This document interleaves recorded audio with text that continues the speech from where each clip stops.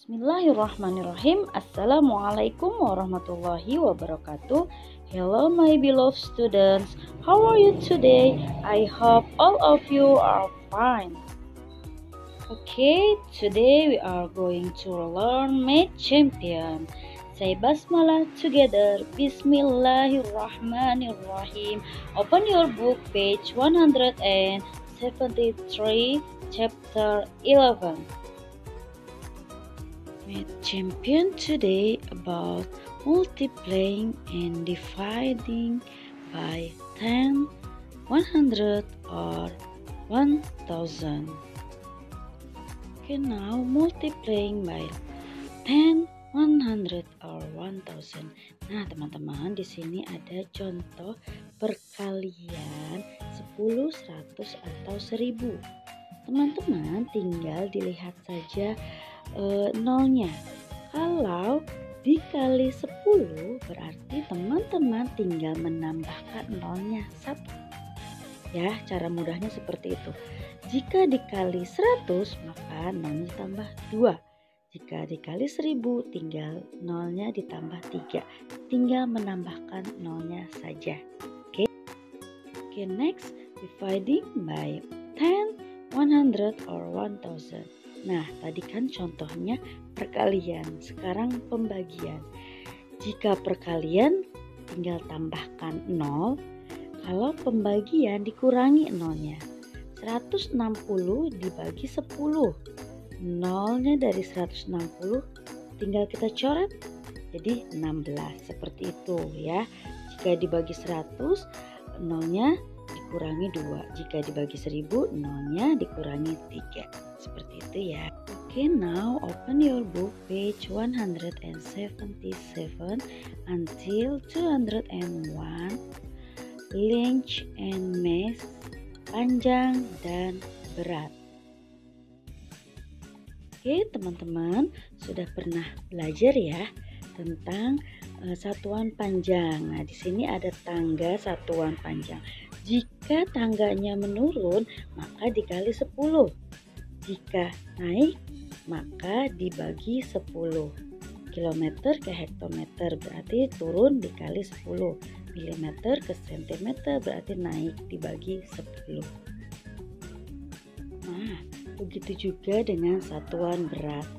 Ada kilogram sampai miligram. Nah, di sini ada catatan jika tangkanya turun berarti dikali, jika tangkanya naik berarti dibagi. Contoh 1 meter sama dengan 100 cm. Dari meter ke centimeter itu turunnya dua tangga. Lebih mudahnya lagi teman-teman tinggal menambahkan angka nolnya 2. Dari meter kilometer ke meter tiga tangga berarti tinggal tambahkan nolnya 3. Jika naik berarti dibagi atau nolnya berkurang. Dari sentimeter ke meter itu kan naiknya dua, dua tangga berarti tinggal dikurangi nolnya dua. Begitupun dengan meter ke kilometer. Naik tangganya tiga berarti nolnya tinggal dikurangi saja tiga. Seperti itu ya, mudah ya. Begitu juga dengan contoh satuan hmm, berat. 1 kg sama dengan 1000 gram, 2000 gram sama dengan 2 kg.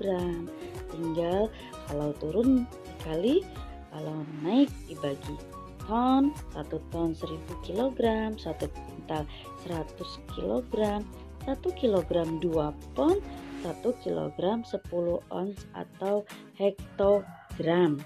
Nanti teman-teman dicek lagi di bukunya, dilihat dari contoh-contohnya ya. Oke, for example, di sini ada contoh 1 meter 38 cm sama dengan berapa cm? Nah, 1, 1 meter itu kan 100 cm. 100 cm ditambah 38 cm sama dengan 138 cm. Begitupun dengan kilometer. Dijadikan kilometernya dulu, dijadikan meternya dulu. Nah, contoh selanjutnya yaitu contoh satuan berat sama dengan satuan panjang tadi ya. Dirubah dulu menjadi kilogram atau gram. Oke, okay, next page 202 quantity jumlah atau banyaknya suatu benda. Teman-teman pasti suka mendengar ya. Ini berapa lusin? Satu lusin gitu. Beli bu, beli dua lusin. Nah, di sini ada namanya one dozen. One dozen itu satu lusin. Satu lusin itu isinya 12 pieces satu kodi berisi 20 pieces, satu gross 144 pieces, dan satu rim 500 set. Rim itu biasanya kertas ya, teman-teman pasti pernah mendengar kertas satu rim. Nah, di sini ada contoh di sini for example two dozen equal to times 12 equal 24 pieces. Nah, di sini dua lusin sama dengan 2 dikali 12.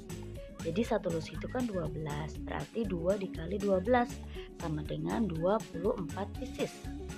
Maka kodi juga sama. Jika 3 kodi berarti dikali 20, gross dikali 144 dan rim dikali 500. Begitu seterusnya ya teman-teman. Semoga teman-teman mengerti apa yang Miss Lia jelaskan.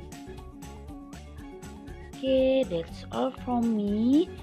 Cukup sekian dari Miss Lia. Semoga apa yang Miss Lia berikan ilmu kepada teman-teman semoga bermanfaat dan teman-teman mengerti apa yang Miss Lia jelaskan. Terima kasih atas perhatian teman-teman. Eh, sehat selalu untuk kita semua. Wassalamualaikum warahmatullahi wabarakatuh. See you later.